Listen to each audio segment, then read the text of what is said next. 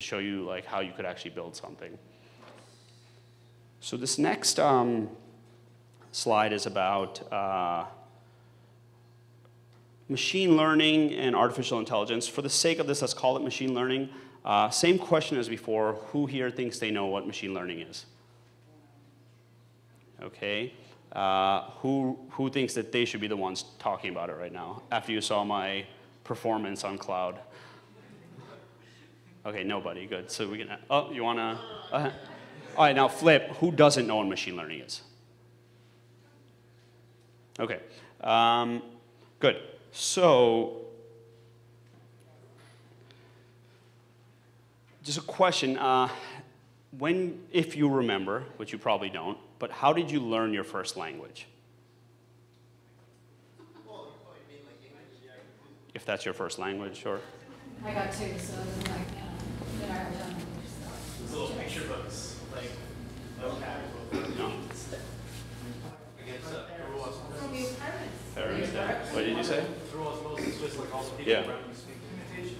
Yeah. It's not likely that your parents handed you a dictionary and said these are the rules and you learned. It was by uh, talking to your parents, seeing books, friends. Um, an example is the first time you saw a dog walking by. You might have been scared, happy, confused, whatever it is, and you might, your brain might have interpreted four legs, cute, scary, whatever, and your parents said, oh, that's a dog. Happened a few times, and you start recognizing it's a dog. Then a cat walks by. And you might think it's a dog, but your parents say, no, it's a cat, and you learn. So, what machine learning is, is basically emulating how we learn uh, through a machine. So, that's um, having a machine solve a problem without giving it the pre uh, described solution. So, it, um, it creates systems that can actually get smarter over time through pattern recognition, through um, multiple data sets, and interacting, um, iterative uh, tweaking of data. And just so um, we're on the same page, there could be a lot of debate on what this means, but for the purposes of this presentation, artificial intelligence is the science of making things smarter. Uh, you could argue that cruise control in a car was artificial intelligence, and I, I believe it was be probably before my time, but uh, people were scared of that. And now compare that to what you know automated cars look like now. Um, and it, it, could be, you know, obviously uh, smarter stuff than that. Uh, machine learning is building machines that can learn. And then we're not going to talk about this, but you'll hear some people say neural networks. This is a type of algorithm that's used in machine learning that kind of mimics how, how the brain works, but it's a way of a computer learning about something. So the key to a successful um, uh, machine learning project, and you guys will have all this at the hackathon. So what I'll, again, my goal of this whole presentation is to give you something that you can actually use uh, on the 19th. Uh, one is a large data set. This is not 100% true. You can actually get some really good results with small data sets if you leverage a system like Google's that actually is built on a large data set. But for the most part, for a machine learning project to be successful, you need a large data set. Um, you need access to a ton of compute power, which again, the cloud has done for us, which wasn't possible uh, before. Uh, and you need powerful tools and frameworks. We talked about some of them, we'll talk about them more here, uh, as opposed to having to write programming on how to train your, computer, your machine to get smarter. And again, this is uh, why you're seeing so much of this uh, now. Uh, before it was kind of theoretical. Uh, Google itself used to call it artificial intelligence, then became machine intelligence, and a lot of that went with the wave of what society thinks about it. We're hitting that point where it's very real, and I'll show you some examples uh, where it's being applied in all of our lives every day, and it's made possible by uh, cloud computing, which again, you all have access to for free um, this, uh, for this hackathon. So a couple of reasons why it's all coming to a head, not only is it cloud computing, but just to give you an idea of uh, the rate of change. The last 500 years of human knowledge and society adds up to 12 exabytes of data. All our books, all our knowledge, religion, photos, anything you could think of, that's it. In the last 48 hours, 12 exabytes of data were created. So basically, every two days, we're taking all of human history and adding to it. And that's growing exponentially. And it's just getting more and more and more and more and more. So this explosion allows us to do really cool stuff uh, with the data. So we talked about this. There's two ways to uh, build machine learning. Uh, one is train your own data. Uh, Google has open sourced its tools. TensorFlow is a name you're going to hear a lot. We have another one called um, the, the, Google uh, Machine Learning Engine. Um, and this is, tends to be used by data scientists and people who are really experts in this field. They can use these powerful tools, they can provide their own data sets, they can use our computing platform or they can put it somewhere else if they want. And they can use our tools to write the models to train their machines on their data set. The flip is to use our models. Uh, you don't need any tools, you don't need any expertise. I'll show you how to do that. Um, and like I said, it could be large or small data sets, but you can get all the power that large tech companies have uh, inside your apps. And just to be a little more clear about what we're talking about, in the, um, the build your own, it's TensorFlow and the machine learning engine. Again, all the same tools we use. This one's open source. It's actually uh, the most popular uh, open source AI project on GitHub. So Google, you know, created it, but what's being created by people at hackathons and communities and stuff is amazing. Or you can use our tools. So uh, Vision API, you give it a photo and it'll tell you that's a face. It'll tell you it's a smiling face. It can tell you who it is, just like your contacts and when you're tagging photos. Uh, speech API, speech to text. Is that what Lens uses, the Vision API? Yeah. Yeah, and, and that's also, um, now that's a lot of stuff. Um, there is also a video intelligence API, but this one used to be the Photos API and the Vision API. It's, it's all now in one. Vision API is part of machine learning, machine learning engine or tensor or both? Um, so it's built on this. So, sorry, let me. Friendly machine learning. So like you can take the underlying tools and build your own machine learning um, process, or you can use the ones we've already created. So you need to use the, uh, the credits to use the ML APIs? Yeah, you can. Yeah. Or is there like a free like set of queries you can send to? No, uh, the credits are as if you put your card in. Okay. Yeah, and, and you'll see, like, you can also use those serverless options in the next module. I'll show you how to do that, so.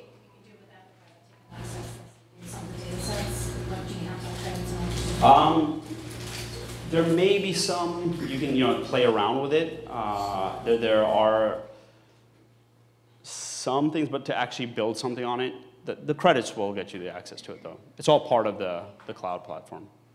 Question, is there a user interface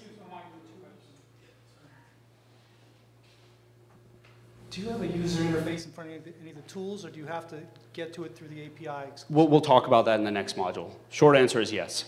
So we have uh, an interface, you can use your own as well. You can, you know, uh, use command line, you can use our console, you can use GitHub to deploy stuff. Yeah. So like I said, um, we offer fully managed infrastructure if you want to train your own model, so you don't want to share the data, you want to keep it separate. Uh, you want to run the software yourself, but you still don't want to worry about the servers. You can still run it on a fully managed uh, infrastructure. Um, TensorFlow, like I said, uh, was created by Google. Uh, it's fully open source. So here are some examples, like I said, real world cases where this is uh, in play. Search, you see it every day. If you're using an Android phone, Maps, Gmail, and a bunch of other products are all built on this exact same technology. Um, how many people use Gmail? Uh, the Gmail app on the phone? Have you guys start, seen the smart replies? So it, ju- it just recently came out, and this is probably old, but over 12% of pe- uh, all responses on Gmail are now using smart reply.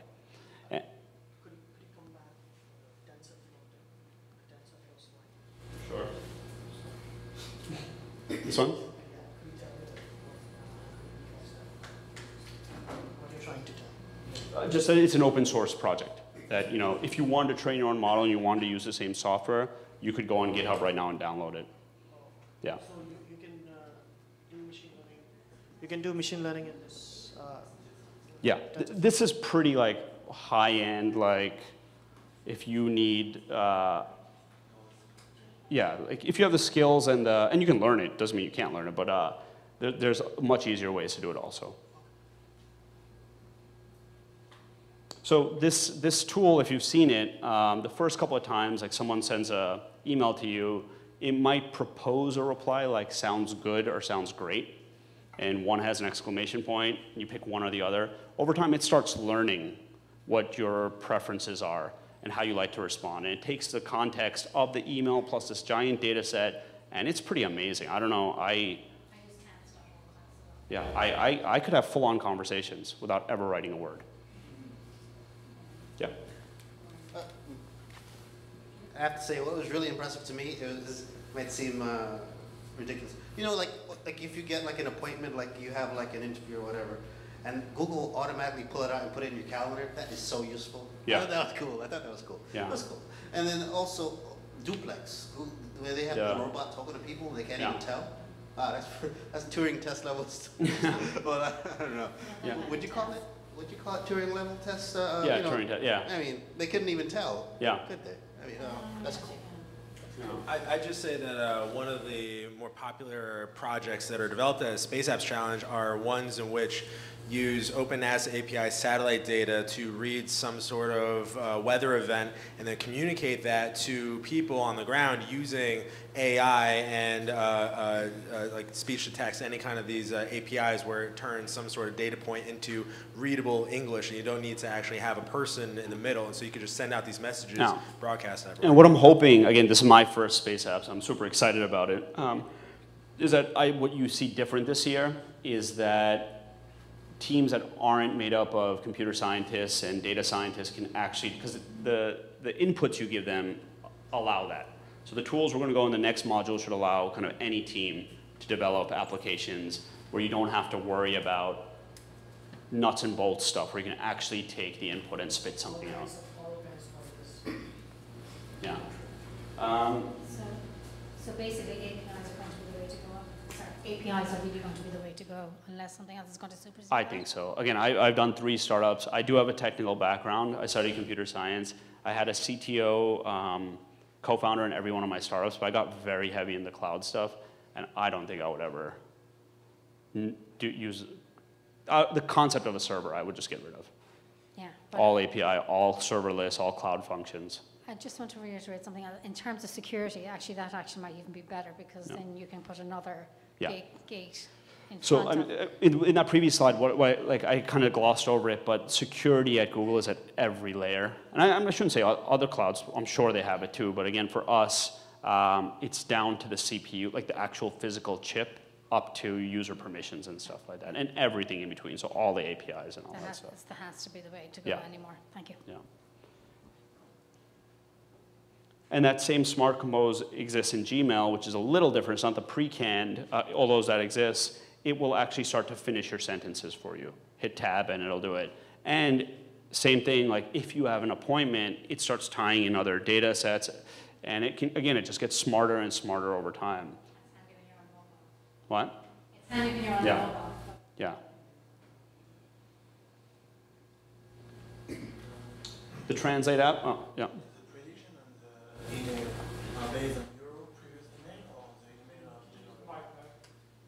Uh, have a question, I'll run over. Uh, in this uh, NLP program, uh, is the prediction based on your email, previous email, or on the email of general average people? Both, both. So it's so like it, it's based on a lot of things. So it's actually based on the context of the person who sent you the email, plus your overall overall information, plus the machine itself is smarter on language from the overall data set. It's not taking someone else's email and saying, oh, that person likes this place, so he might like it. It's not, you know. Okay, it's not. Yeah, but it, the machine itself is getting smarter because it's billions and billions of emails per second that are you know passing through the system. But also, as you are using it, when you tab, when you don't, when you're selecting, it starts to understand your preferences. Yes, because maybe Yeah. it's pre-trained by the other email, and after training? Your previous email, yeah, of course. So like, again, that same thing, if you're someone that uses exclamation points or smileys or whatever, it's not gonna keep proposing that to you. Okay, Yeah. okay, thank you. So has anyone used the Translate app? The, the visual API or the actual text? And this actually combines both, but yeah, it's pretty amazing. You go to another country with a completely different script. This is showing the opposite English to something else, but uh, uh, you can just hold up your phone and it'll translate a sign in real time, a menu. It's, it's incredible. So I use um, a thing called Web Captioner, which is uses the Google Translate API to run captions on streams. And in fact, it's something I haven't talked to Joseph about, but we may use it to, if we've got a separate monitor, that we'll run it to use to caption the presentations live Yeah. at, at the Space Apps. Yeah. And, and this is, the reason I put this one in here is it, it's a combination of multiple of these APIs. And again, I'll show you in the next module. You can tie all these together, um, give it a video or a photo, and it can print it out to text, translate it, identify signs and logos in the image in each frame, and output it however you want.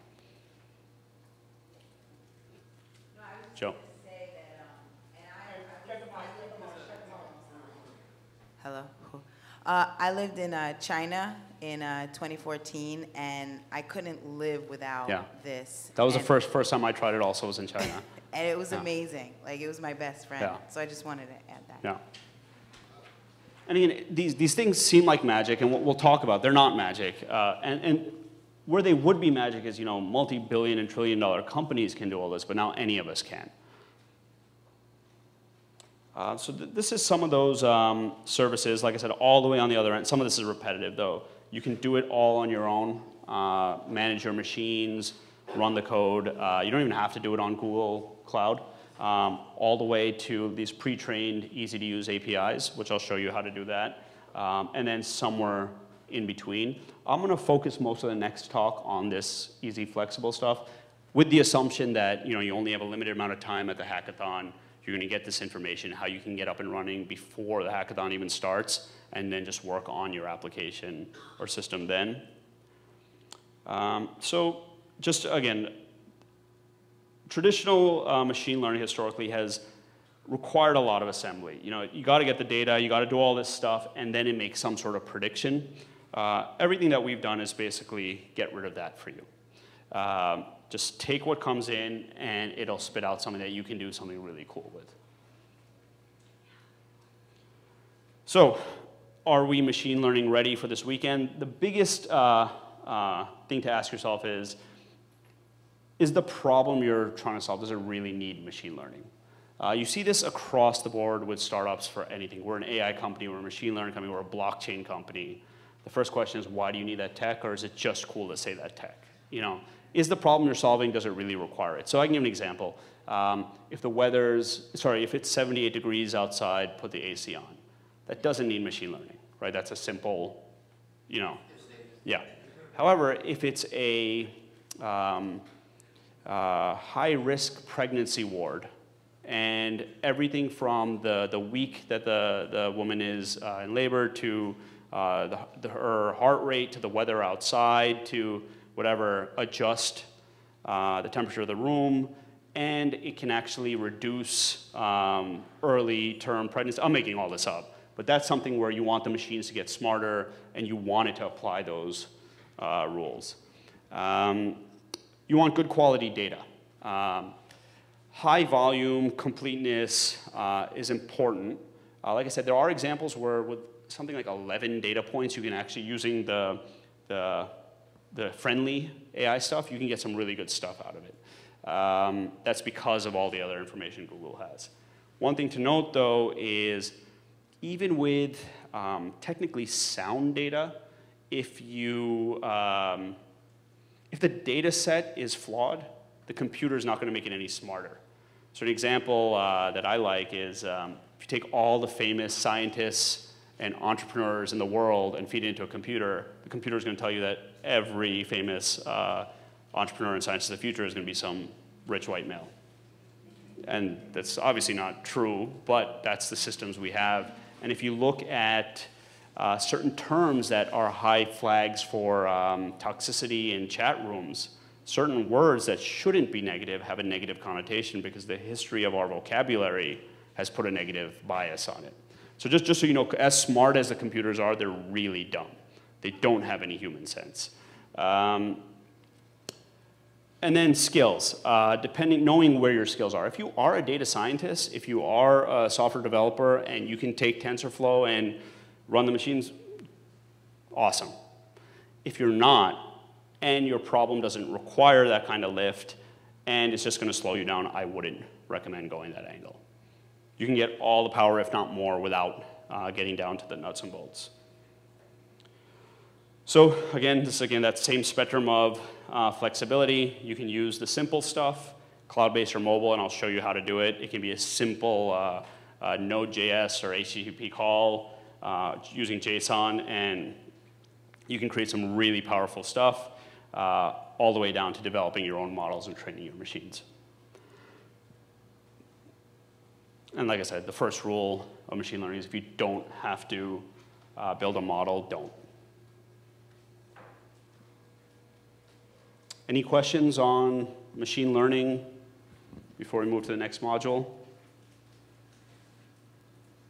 I got a question. So you mentioned that there's uh, pre-trained data sets. Uh, hackathons past, uh, we get people who no, not just space apps, but a lot of hackathons I've been to, uh, people want to use machine learning, and they start building their data sets, or they start feeding their data sets like halfway through the hackathon. They don't really have a predictive model ready to go by the time uh, the hackathon's done. Yeah. Uh, what kind of lead-up time do you think people would need uh, in order to train their, their algorithms? Yeah, so, so it, it also depends on what you're doing, right? So you gave an example of satellite imagery.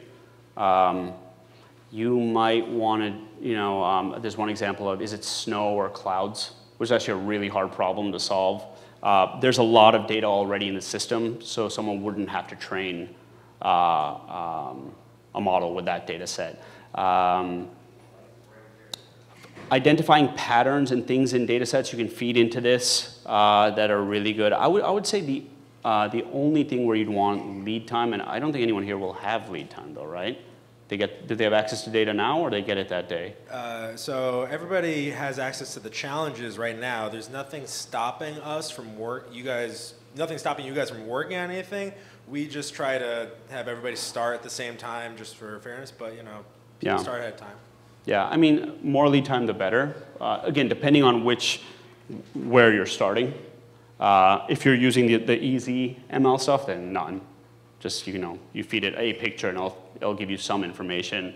Um, if, you're, if it's something completely new, then yeah, it, it, takes a lot of compute power depending on the size, size of the data set. So, and I'm assuming you're not going to get it right the first time, so days at least. Uh, sorry, my question's for you actually. Wait, where are the, random, where are the, where are the challenges? We can actually see the challenges right now? Sure, yeah, so I'll, I'll talk more about this uh, after the talk, but the challenges are posted online. There's about 20 of them. Uh, during the uh, October 19th uh, at the Lower East Side Girls Club, we'll go over all the challenges with scientists talking about them and uh, give you some the context we're talking about here in machine learning of understanding what these data sets mean. Uh, we'll go over all that with the challenges so that you can figure out the best way to apply these tools to solve these problems. The, uh, this whole talk is being recorded. It's being uploaded to YouTube. Except when people don't speak on the. Uh, October 19th will be recorded, uh, recorded too. We do encourage everybody who's going to that con to attend the October 19th event. We will give more information about that later though. Yeah, just if you look at the categories, the categories have been up for a while. You click on the categories now and the challenges are under them. So if you've seen the page with the categories, which are very, very broad, there are like three or four under each one.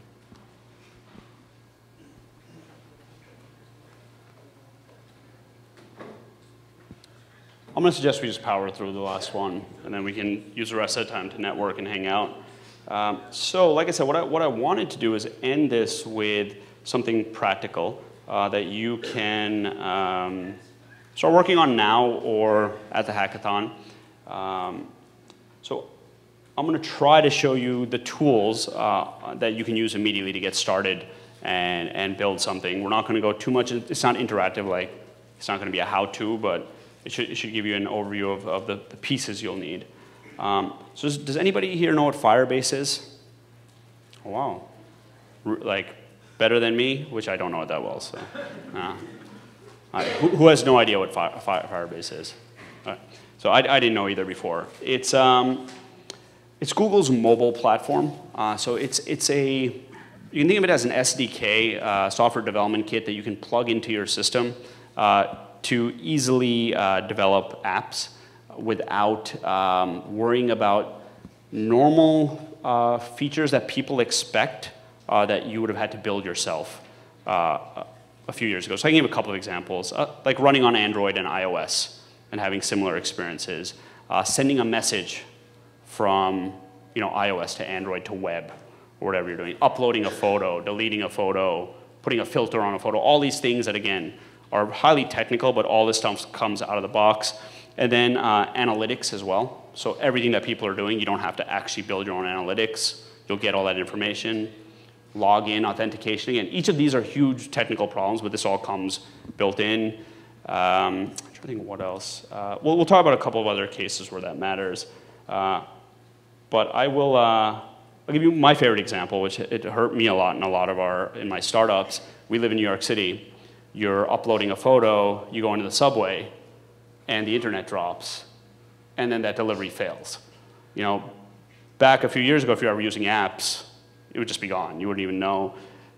Handling that type of asynchronous connectivity comes out of the box with stuff like that, where these are problems that you might not even think exist for some of your users, but again, uh, Firebase is taking care of all that.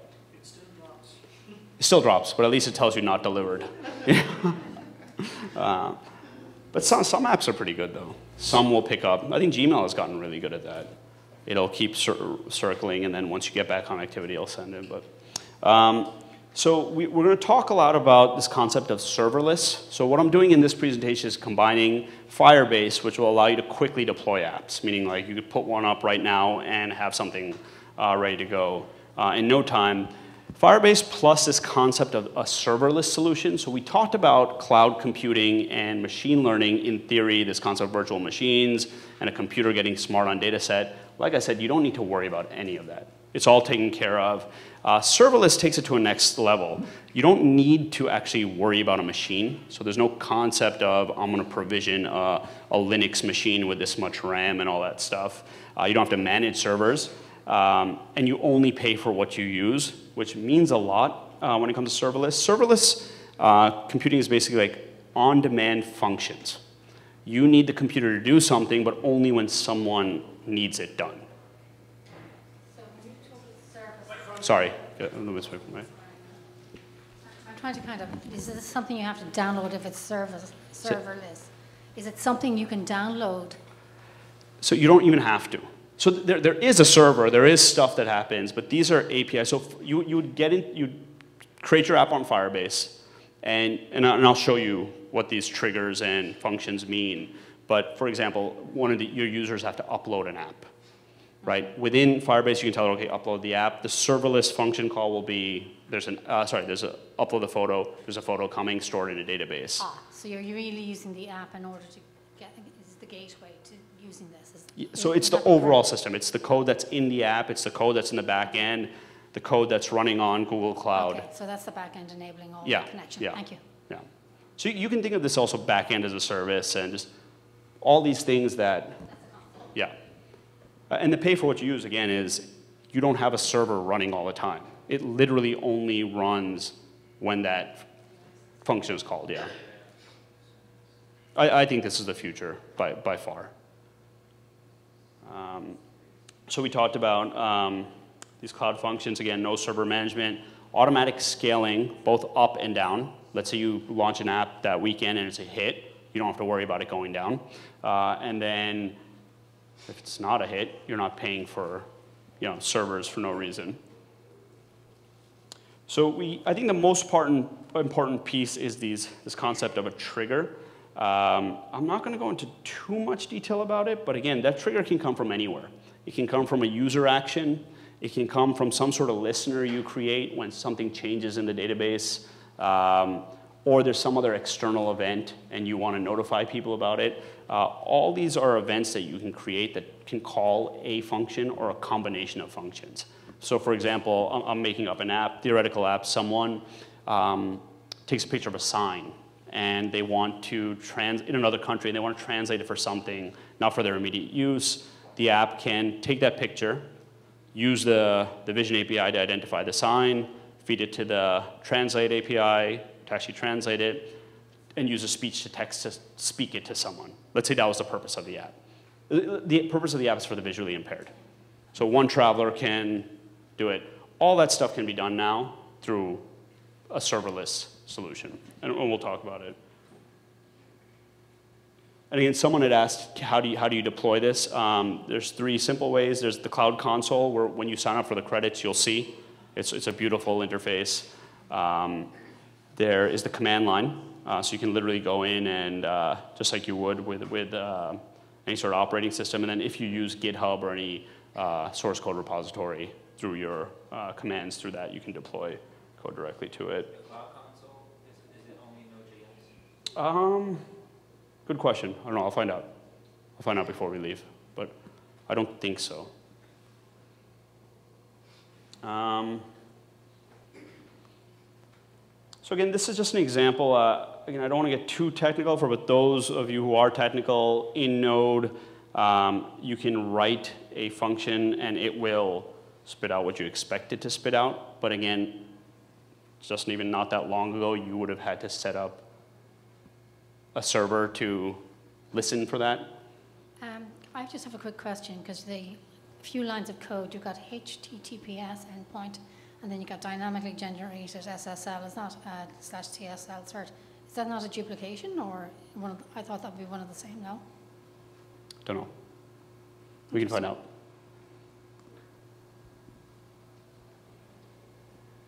But remember that question. Talk, talk to me about it afterwards. Um, and also, we have an emulator, so even though it is serverless, you can run this on your local machine to test it out uh, and see how it works. Um, so again, we talked a little bit about this concept of uh, the functions and the triggers. Uh, it's everything from the authentication to the database, and like I said, I'll, I'll walk through a couple of architecture examples of that. Um, and, the, and the cloud functions uh, plugged into Firebase allow you to deploy this app on multiple platforms uh, and create whatever, again, solution you're creating um, without having to develop all these other pieces of the code. They come in built in uh, with this. Also storage. I don't want to go into too much detail about uh, this. But okay, so we, uh, we talked about that example. You've built an app uh, on Firebase uh, that deploys onto an Android device or an iOS device, and your user uploads an image. It'll immediately go into storage, and you can run those functions, like we talked about that visually impaired speech-to-text translation uh, for a sign. And what will happen is you'll give it uh, the image, uh, it will return you a URL, which is your download URL for whatever you might want to use it for display or for bookmarking or whatever, and it'll store it in real time into the database. Again, all stuff you don't really even need to worry about. That database, like we talked about, is synced um, using multiple technologies, uh, so across devices, across platforms, with or without connectivity. And then this is an example in the reverse that we talked about. So now in this scenario that we made up, you are the person, um, you're the visually impaired person that is uh, awaiting the sign to be notified.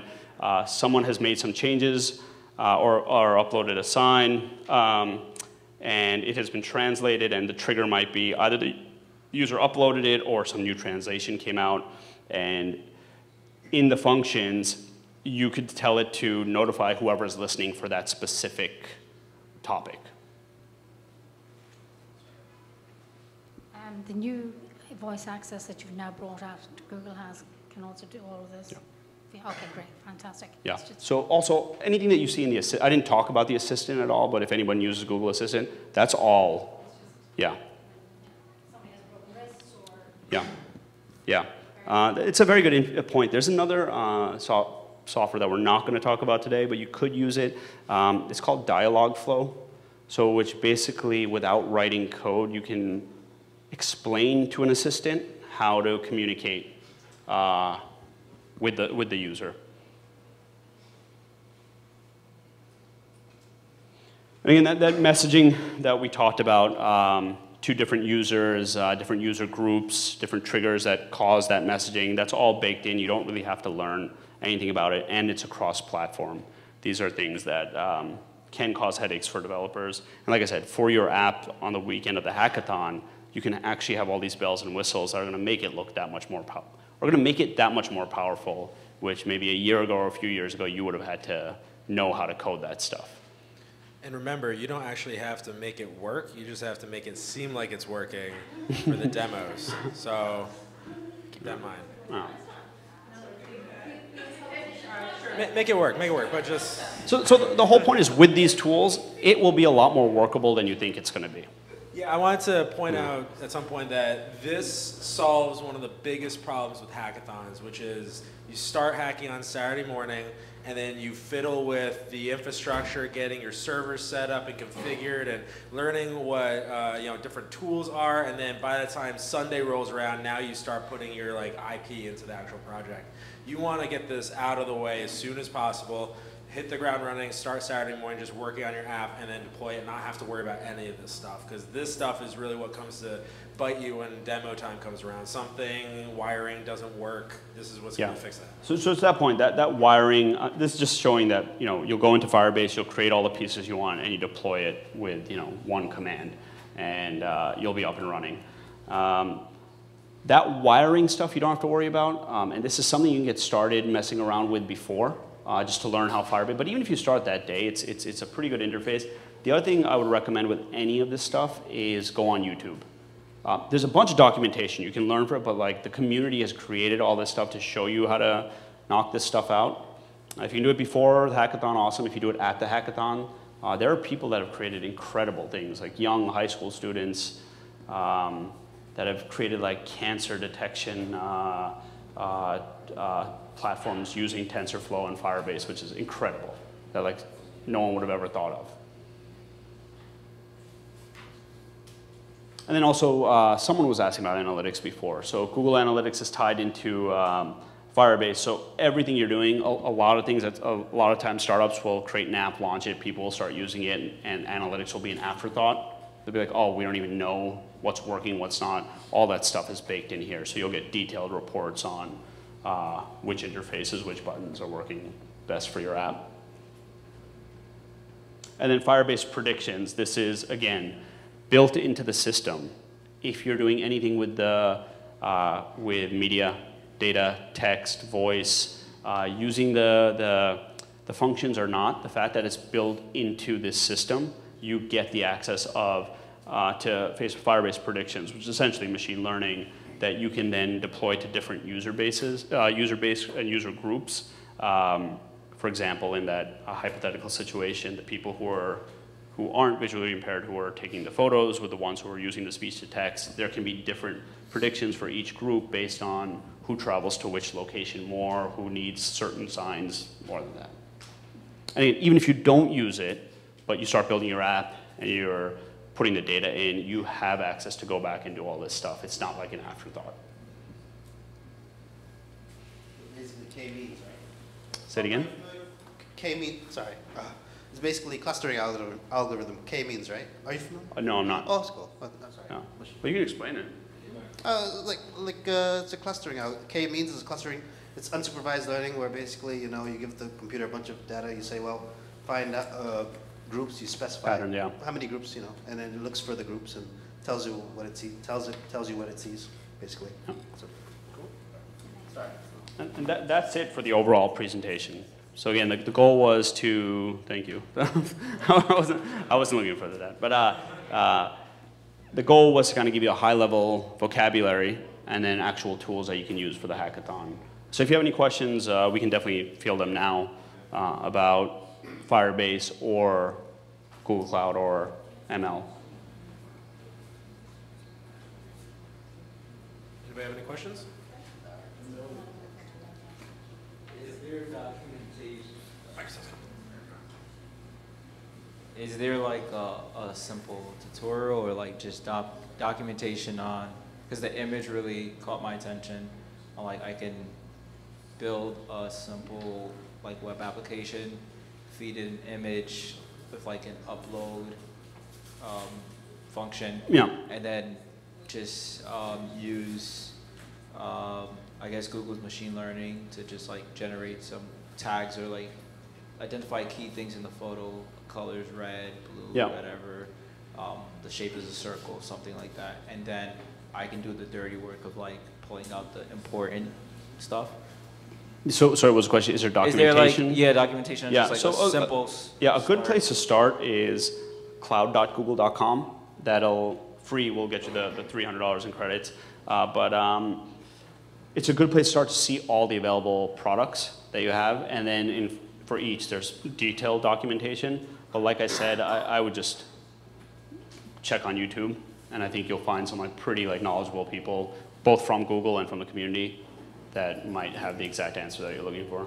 For sure, thank you. I was under the impression that uh, you could only, you could use Firebase just for temporary data storage, but I didn't know that you could deploy your apps. Yeah, yeah. You, you can do both. Um, you can use it for temporary storage, even long-term storage. You can uh, use it as the full mobile platform. I have a couple of logistical questions. Um, can you integrate the messaging with another program like HubSpot or Salesforce?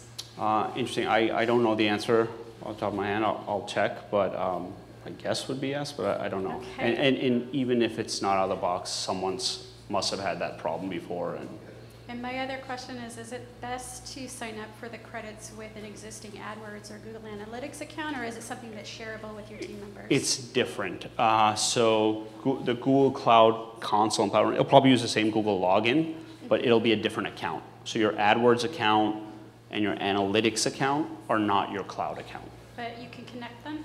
I'm sure you can connect them from a data standpoint. Got it. So all your analytics information, that can be, we didn't talk about um, some of the other services we have, but you can pump in data from, so this might answer the previous question also, uh, from obviously any of Google's tools like Analytics and AdWords, uh, and a bunch of third-party tools. And it's this product called PubSub, which is a way to um, stream data or get data in batches and have different parts of your system listen in and notify you when something changes or based on whatever rules your application might have. And can I share at least the platform views or the dashboard views with team members? Yeah. Or do they each have to have their own account? Um, they probably need their own login Right. account, but it would be like, so for example, when you sign up for the credits, uh, if you already have a cloud account, it's going to ask you for your billing account. If you don't, you'll create one and you'll get a billing account, which is your company or your team's account.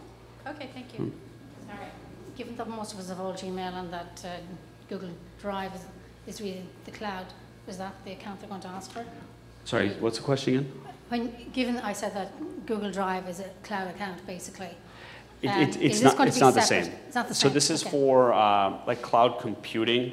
Uh, it wouldn't count towards your personal like drive or, Okay. or your enterprise uh, um, uh, fees for Gmail or Drive or stuff like that. So this is something totally separate if you sign up for these credits? Yeah, you wouldn't be able to apply these Oh, to. you can't associate it with the Gmail account? No, No, so you can think of it as a consumer cloud and then the, the developer cloud. Uh, so if your app is using stuff and storing on this, yes, those credits count towards that. But if you're putting files or It's the same What like is? Google account, it's just like a different billing, billing. yeah. Okay, got it, You could th- think of it like these are a bunch of different products that have their own account. You could use the same Google login to access those accounts, but they are separate accounts, and you can share data between them. Now, if, you, if you're eligible for the startup account, there are some credits uh, and some perks of that where you get some Gmail accounts, you get some discounts on stuff, uh, but that's really for startups.